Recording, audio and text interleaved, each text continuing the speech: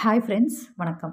இன்றைக்கி நம்ம டுடேஸ் ஏ good day சேனலில் என்ன பார்க்க போகிறோன்னா ஹிந்தி விஷாரத் பூர்வாதில் இருக்கக்கூடிய நவீன் ஹிந்தி வியாக்கரனில் ஃபிஃப்த்து கொஷின் வரைக்கும் ஆல்ரெடி முடிச்சிட்டோம். இப்போ சிக்ஸ்த் ஒன் பார்க்க போகிறோம் சங்யா கிசே கெஹ்தேகை. அதாவது பெயர்ச்சொல் அப்படின்னா என்ன? அர்த்த கி திருஷ்டி சே உஸ்கே கித்தனை பேதுகை உதாரன் உதாரண் சகித் லிக்கியே அர்த்தத்தின் அடிப்படையில் அது எத்தனை வகைப்படும்? அதை உதாரணத்தோடு விளக்குங்க.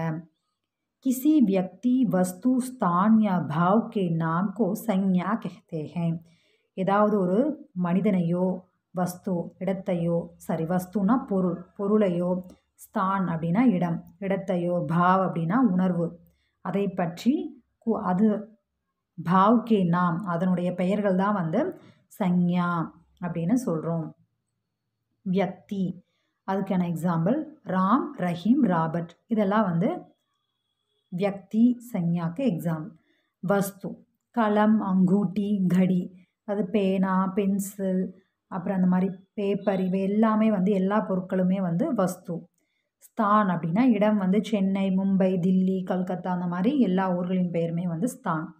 பாவ் அப்படின்னா உணவு மிட்டாஸ் புடாப்பா பச்பன் இனிப்பான கசப்பான குழந்தை பருவம் முதிய பருவம் அந்த மாதிரி உணர்வுகளை வெளிப்படுத்தக்கூடியது வந்து பாவ்.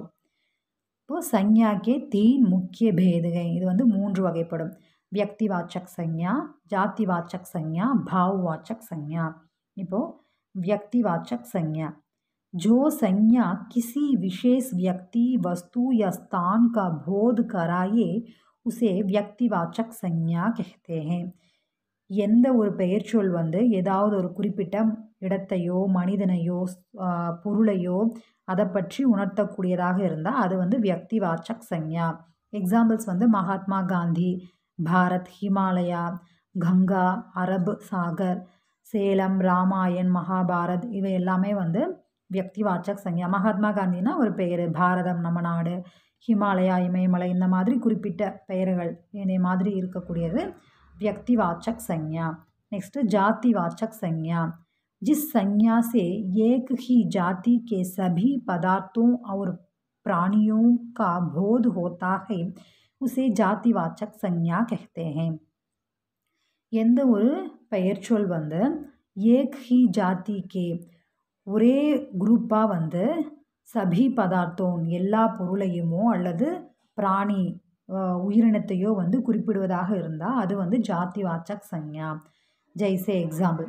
புருஷ் அப்படின்னா ஆண்கள். பொதுவாக எல்லா ஆண்களையும் ஆண்கள் அப்படின்னு சொல்கிறோம் சிங் தேஷ் நாடு பகாடு மலை நதி அப்படின்னா நதிகள் சாகர் நகர் கிதாப் புக்ஸ் இதெல்லாமே வந்து இந்த மாதிரி பர்டிகுலராக இங்கே என்னென்ன இருக்குது அப்படின்னா இங்கே வந்து ஆங்கில புத்தகம் இருக்குது மேக்ஸ் புக் இருக்குது சயின்ஸ் புக் இருக்குது அந்த மாதிரி பர்டிகுலராக சொல்லாமல் இங்கே என்ன இருக்குன்னா புக் கிதாப் அந்த மாதிரி ஜாதி வாச்சக் குரூப்பாக ஒரு பொருளை பற்றி கூறுவது ஜாதி வாச்சக் சஞ்ஞா இந்த ஜாதி வாச்சக் சஞ்ஞாலேயே வந்து ரெண்டு டிஃப்ரெண்ட் கைண்ட் இருக்கு சமூகவாச்சக் சஞ்ஞா द्रव्यवाचक संज्ञा समूहवाचक संज्ञा जिस संज्ञा से व्यक्तियों या वस्तुओं के किसी समूह का बोध हो उसे समूहवाचक संज्ञा कहते हैं ஒரு சமூகத்தை பற்றி ஒரு கூட்டாக இருக்கக்கூடிய மனிதர்களையோ அல்லது பொருளை பற்றியோ கூறுவது அதை பற்றி விளக்கக்கூடியது அதாவது குழுவாக இருக்கக்கூடிய கலெக்டிவ் நவுன் அப்படின்னு சொல்லுவோம்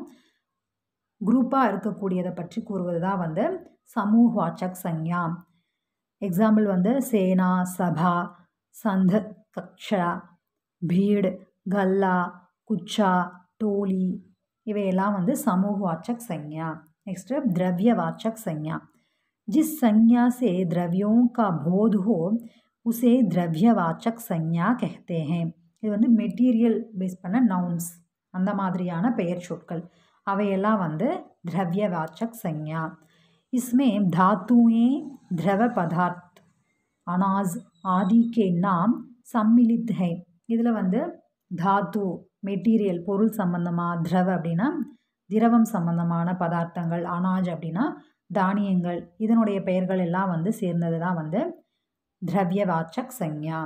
अब सोना चांदी पानी दूद तेल चावल गू सारी गेहूँ आदि अोध अरसि तंगम तीर् पाल इवेल वो द्रव्यवाचक संज्ञा के एक्सापल नेक्स्ट इर्ड इोड भाववाचक संज्ञा जिस संज्ञा से किसी व्यक्ति या वस्तु के गुण, दोष, धर्म व्यापार अवस्था भावना आ- आदि का बोध होता है उसे भाववाचक संज्ञा कहते हैं எந்த ஒரு நவுன் எந்த ஒரு பெயர்ச்சொல் வந்து கிசி வியக்தி ஒரு மனிதனையோ யா வஸ்து உள்ள இல்லை ஒரு இடத்தினுடைய குண அந்த குணத்தை பற்றியோ அல்ல தோஷ் விருப்பு வெறுப்பங்கள் பற்றி தர்ம வியாபாரனுடைய சைஸு அளவு என்ன அப்படின்றத பற்றி அவஸ்தா பாவனா அதை அதை பற்றியெல்லாம் கூ கூறக்கூடியது தான் வந்து பாவ் வாச்சக் சஞ்ஞா இப்போ குணுக்கு வந்து எக்ஸாம்பிள் வந்து அச்சாயி பலாயி நல்லது கெட்டது அந்த மாதிரியான விஷயங்கள். தோஷ் அப்படின்னா புராயி நீச்சத்தா கீழ்த்தரமான தீய செயல் அந்த மாதிரியான வெறுப்பு சம்பந்தமான தோஷ் அதை பற்றின கூறக்கூடியது. நெக்ஸ்ட்டு தர்ம கோமலதா மிட்டாஸ் இது வந்து பண்பு சம்பந்தமாக கோமளத்தை அப்படின்னா மென்மையாக இனிப்பாக கசப்பாக அந்த மாதிரியான விஷயங்கள். அவங்க வந்து ரொம்ப மென்மையாக நடந்து கொண்டாங்க.